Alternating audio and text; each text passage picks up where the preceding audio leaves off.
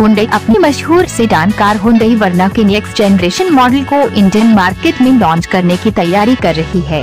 हाल ही में कंपनी ने इस सेडान की बुकिंग भी शुरू की थी, जिसे ग्राहक कंपनी के ऑफिशियल वेबसाइट और अधिकृत डीलरशिप के माध्यम से बुक कर सकते हैं।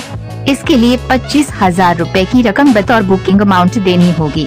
कंपनी इस सेडान कार को 21 मार्च को लॉन्च कर सकती है।